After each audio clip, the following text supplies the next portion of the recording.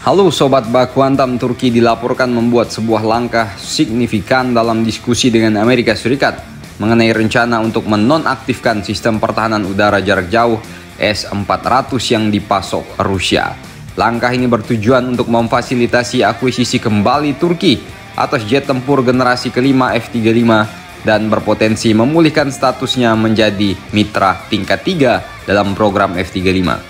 Pada bulan Juli 2019 yang lalu, Turki secara resmi dikeluarkan dari program F-35 setelah mulai menerima komponen sistem S-400 ini pada awal bulan yang sama.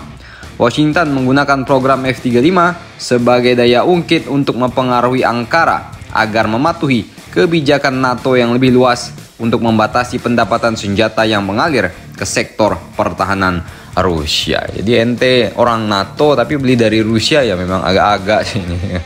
Amerika Serikat mengajukan proposal terperinci selama musim panas untuk menyelesaikan masalah kontroversial pembelian sistem pertahanan udara S-400 Rusia oleh Turki. Proposal ini akan memungkinkan Turki untuk mempertahankan rudal di wilayahnya, tetapi secara efektif harus mengalihkan kendalinya ke Amerika Serikat sesuai dengan informasi eksklusif yang diberikan. Jabat senior Amerika telah menyarankan untuk memindahkan sistem S-400 Rusia ini ke sektor pangkalan Incirlik yang dikendalikan Amerika di Turki Selatan. Strategi ini bertujuan untuk menyelamatkan Turki dari rasa malu internasional dengan tidak mengharuskan pembatalan langsung keputusannya.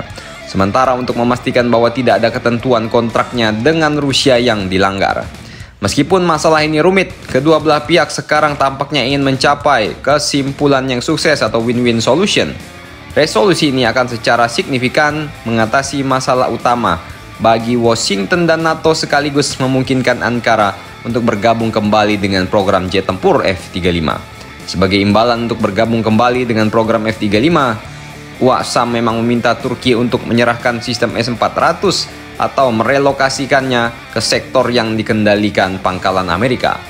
Keanggotaan Turki di NATO, integrasi yang mendalam dengan struktur militer barat dan ketergantungan pada transfer teknologi, dukungan politik, dan militer ke arah Waksam tentunya ini menghadirkan rintangan yang signifikan jika Turki mau mengoperasikan S-400 bersama dengan Su-35 ataupun Su-57.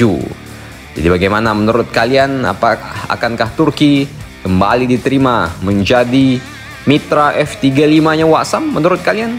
Silahkan komentar dan baku hantam kalian di bawah.